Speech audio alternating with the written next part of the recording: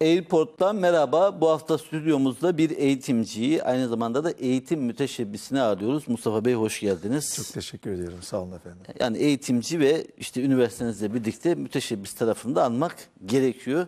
Nasıl uygun görürseniz. Aynı zamanda bizim havacılık dünyamızda da ilgili olarak üniversitenizde bölümleriniz de var. Evet. Bolda seyahat eden birisiniz. Bilmiyorum hem müteşebbislik, eğitimcilik, bol seyahat, seyahatin eğitime katkısı bunları nasıl bir araya toparlayıp değerlendiriyorsunuz? Şimdi tabii e, bu seyahat konusundan başlayalım müsaade ederseniz. E, bunu birçok arkadaşım da e, yani teyit edecektirlerdir. E, seyahatin bir başka ortamda, bir başka mekanı, kültürel olarak, ne bileyim tarih olarak, ekonomi olarak e, yaptığınız incelemeler, oradaki edindiğiniz intibalar, kendi sektörünüzde bunları dahil edebiliyorsanız, kendi sektörünüzde fark oluşturabiliyorsunuz. Ben bütün e, yani samimiyetimle itiraf ediyorum. Eğer bulunduğum sektörde, tabii çok değerli arkadaşlarımız var yüksek öğretim camiasında, orta öğretim camiasında. Ama öncelikle üniversiteden bahsettiğiniz için yüksek öğretim camiasından örnek vermek isterim. En büyük farkındalığımı yaptığım seyahatlerde edindiğim kazanımlarla sağladım. Bunu çok net söylüyorum. Ve bakıyorum yine bizim sektörümüzde yani yüksek öğretim sektöründe fark oluşturanların da hemen hemen tamamı bendeniz gibi seyahat eden insanlar. Yani eğer yerel kalıyorsanız, yerel kalıyorsanız ne kendi sektörünüze ne hizmet vermiş olduğunuz hedef kitlenize çok farklı bir şey veremiyorsunuz. Onun için evrensel düşünmek, olaylara evrensel bakmak, biz ona üniversitede yüksek öğretimde uluslaşma diyoruz ona biz. Ee, bu anlamda seyahat etmek, seyahat ettiğiniz yerdeki kendi alanınızdaki kurumları incelemek, yöntemleri takip etmek, o halkın demografik yapısına bakmak sizlere çok ciddi farkındalıklar ve kazanımlar sağlıyorlar. Onun için evet ben gerçekten çok seyahat ediyorum. Mesela ben kendi alanımda e, 300'ün üzerinde üniversite ziyaret ettim biliyor musunuz? 300'ün üzerinde uluslararası üniversite ziyaret ettim. Ve yine burada itiraf ediyorum. Birçok arkadaşıma yakın çevremde bunu söylüyorum. Bunların tuvaletlerine varıncaya kadar giriyorum ben. Tuvaletlerine girinceye kadar, varıncaya kadar ne kullanmış, konsepti nasıl, programı, müfredatı, kataloğu, koridoru, amfisi, laboratuvarı, hocası, ders verme şekli hepsinden bir şeyler Böyle almak. Sınıflandırmak gerekirse özellikle yani artık son dönemdeki seyahatleriniz daha fazla bu müteşebbis tarafınızda değerlendirilmek üzere herhalde gündemde oluyor. E, dolayısıyla e, 300'ün üzerinde Üniversite ziyareti. gezdiğinize göre Dünya Üniversitesi Evet. gezdim En fazla nereden etkilendiniz? Tabii Hangi ülkeden? e, şu- çok samimi itiraf etmek istiyorum. Bakınız bu e, bu da çok önemli bir konu. Aslında yani hep e, insanlar biliyorsun Batı'yı biz çok kullanırız aslında. Yani Batı tabirini biz çok kullanıyoruz. Oysa ki birçok alanda bunun böyle olmadığını görebilirsiniz. Yani bugün doğuya da gittiğiniz zaman bir Çin'de, bir Japonya'da, bir Malezya'da, bir Endonezya'da, Avustralya'da, Güney hatta Kore'de de. Suudi Arabistan'da, Güney Kore'de e, çok farkındalık yaratacak, farkındalık oluşturan e, yapıların olduğunu, müfredatların olduğunu, uygulamaların olduğunu görüyorsunuz. Örnek vermek istiyorum. Biz e, ilk önce meslek eğitimle e, yüksek öğretim camiasında kendimizden söz ettirmeye başladık. Anadolu Bil Meslek Yüksek Okulu olarak ki. Evet, öyle adım Bugün de şeyde siz zaten e, e, o programlarımız da zaten havacılıkla Havacılık ilgili programlarımız da oranın içerisinde. Eğitim eğitim modelini ben Japonya'dan aldım. Eğitim modelini ben Japonya'dan aldım. Uygulamalı eğitim.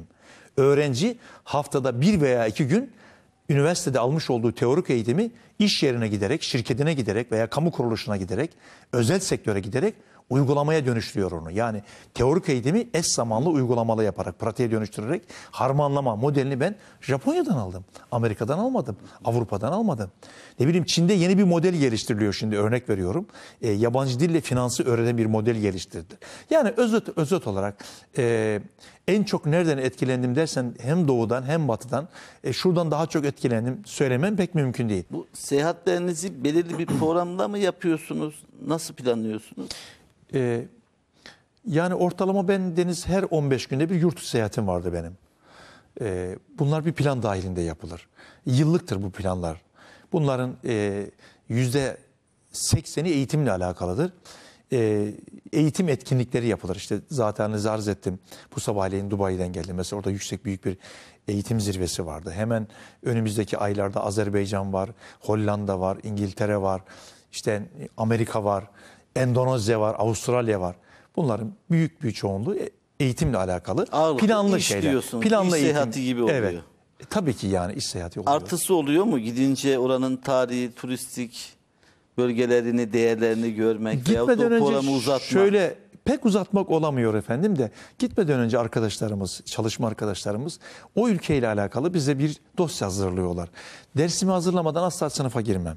Hep bunu kullanırım ben bir eğitimci olarak. Az önce gelirken arkadaşlarıma dedim ki defterimle dedim kalemimi almam lazım dedim. Programı öyle çıkarım dedim. Ee, bir eğitimci olarak dersime yapmadan sınıfa girmem. Onun için de bir ülkeye gidiyorsam, bir toplantıya gidiyorsam muhakkak o ülkeyle ilgili, o toplantıyla alakalı tarihini, kültürünü, coğrafyasını, ekonomisini, siyasi ilişkilerini, nüfus yapısını incelerim. Ve öyle giderim oraya. O zaman zaten seyahat çok yararlı oluyor. Yani bir ülkeye gitmeden önce hangi gün, hangi saatte, nereye gezmemiz, nereye görmem gerektiğini daha önceden planlıyorum. Sadece o eğitimle kalmıyorum tabii ki. Onu da bir takım e, tarihi, sanatsal etkinliklerle işte bezendirerek daha anlamlı bir hale Peki bu getiriyorum. tabii. yolculukları yani bu hep yoğun uçuyorsunuz. çok yoğun uçuyorum evet. Da- Yani yoğun yolculuk yapıyorsunuz demeyeceğim çünkü hep bunları uçakla yapıyorsunuz. Evet, uçakla yapıyorum. Peki yakın mesafeler artık yani ülkeye karayla giden bir Bulgaristan, Yunanistan falan bilmiyorum. Karayla mı gittiniz? Karayla Oralara gitmiyorum. gittin- Karayla gitmeyi sevmiyorum. Yani yoruluyorum. Ee, zaman çok değerli. Zaman fukarasıyım arz ettim size. Yani kara yolculuğu hiç yapmıyorum.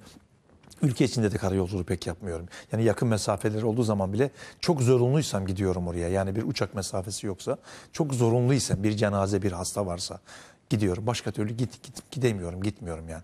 Yani kara yolculuğunu da sevmiyorum öyle söylemek İyi istiyorum. bir yolcu musunuz o zaman hava yolu yolcusu Çok iyi bir yolcuyum. Çok yani Zamanında- rapor, raporda yazarım bu arada. Evet. e, öyle belki e, orada- Gözlemde yaparım Yaparım ve yazarım ve ilgili yerlere de aktarırım onu. Böyle bir huyum da vardır yani.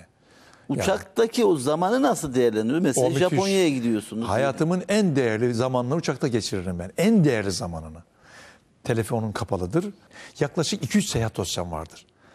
O seyahat dosyalarımı ben seyahate çıkarken e, kısa mesafeye gidiyorsam işte bir tane korlar. Orta mesafeye gidiyorsam iki seyahat dosyası korlar.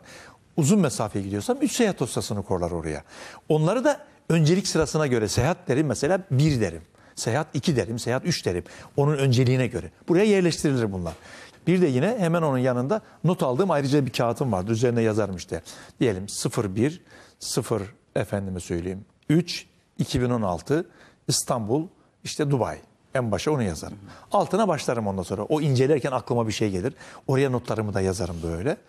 Böyle yani ofise havaya taşıyorsunuz. Aynen yönüyle. şekilde ve olağanüstü keyif alırım. Peki olağanüstü keyif alırım. ikramdır, eğlence sistemleridir, müziktir, Tabii film izlerim bu sinemadır. arada. Film izlerim. Ben sinema kültürümü uçakta geliştiriyorum. Başka türlü sinemaya gidemiyorum.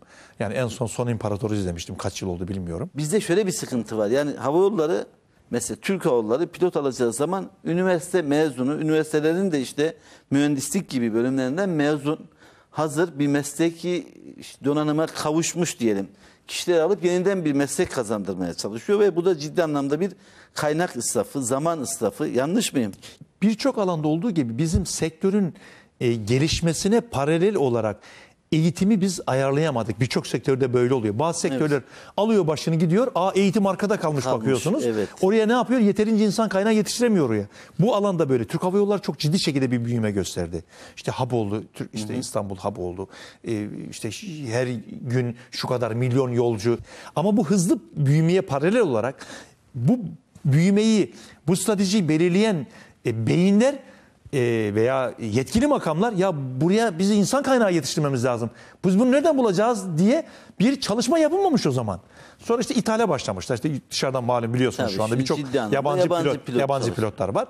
Orada bir geç kalınmışlık var orada. Dolayısıyla burada sizin ifade ettiğiniz gibi şu anda Türk Hava Yolları da bu konuya çok ciddi destek veriyor. E, e, devlet bu konuya destek veriyor. Yani bu konuda ciddi bir açığın olduğunu. E, Netice itibariyle orada e, sanıyorum ki önümüzdeki bir 10 yıl içerisinde bu e, insan kaynağı açıldı. Sadece bu şey değil tabii biliyorsunuz. Aynı zamanda bu uçak içi hizmetlerini veren arkadaşlarımız da, yer hizmetlerini veren arkadaş. Bunlar da çok önemli alanlar. Her E, teknoloji çok değil. önemli. Bir Doğru. uçağın geldiği zaman şu kadar zamanda onun bakımını yapacaksın. Hemen bir sonraki Servise uçuşa hazır, hazırlayacağız. hazırlayacaksın. Bunlar çok ciddi uzmanlık alanı gerektiren konular. Çünkü havaya çıkarıyorsun yer değil yani. Orada en küçük bir hatayı kabul etmeyecek bir sektörün içerisindesiniz. Onun için e, tabii devlet de e, özel de bu konuda kendini pek fazla yenilemedi. Fakat bu gelişmelerden sonra şu anda üniversitelerde bu anlamda yeni bölümler açıyorlar. Birçok üniversite açıyor. Devlet üniversiteleri açıyor. Özel de bu konuya, bu konuya yatırım yapıyor. Ama nereden bakarsanız bakınız ancak önümüzdeki ilk 10 yıl içerisinde bu insan kaynağı açığı giderleri belki o zaman işte dışarıdan ithalat yani pilot ithalatı durdurulabilir. Peki bu kadar seyahat ettiniz. Hiç arzu edip de gidemediğiniz yer oldu mu? Veyahut da şu an programınızda olan? Yani gidemediğim e, tabii dünyanın hemen hemen e, yani dörtte üçünü dolaştım diyebilirim ben size. Belki dörtte biri kalmıştır öyle. Yani diyorsunuz ki gezmedik yer kalmadı. Yani gezme demeyeyim de ben ona. Evet. Biz e, gitmedik diye. yer daha şirin Şimdi gezmeye gitmiyorum. Gerçekten söylüyorum. Yani hiçbir ülkeye. Hadi şu ülkeye gezmeye gidiyorum diye bugüne kadar hiçbir ülkeye gitmedim ben. Ama yani öyle de gidilse neticede önemli bir bilgi, birikim, Tabii tecrübe, gözlemle dönülüyor. Arapçada teferracı diye bir sözcük vardır. Evet. Teferracı. Teferracı inceleyerek, gezip görmek Bilmek, anlamına gelir. Çok önemlidir. evet. Teferracı ala diye kullanılır. Ondan sonra biz teferracı yapıyoruz öyle söyleyelim. Yani e, inceleyerek, gezerek, görerek, alarak yapıyoruz. Evet. O zaman biz de size iyi teferracı aralar dileyelim. Çok teşekkür ederim. Katıldığınız için Sağ olun. teşekkür Ben ediyorum. çok teşekkür Sağ ediyorum. Bey, sağ olun.